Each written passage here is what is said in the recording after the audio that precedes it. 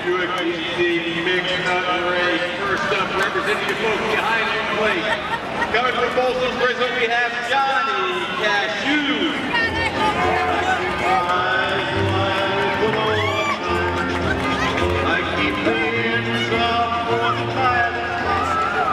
Next up, representing folks over here in the third base side. Coming down from the Washington Wizards, we have John Wall-Nut.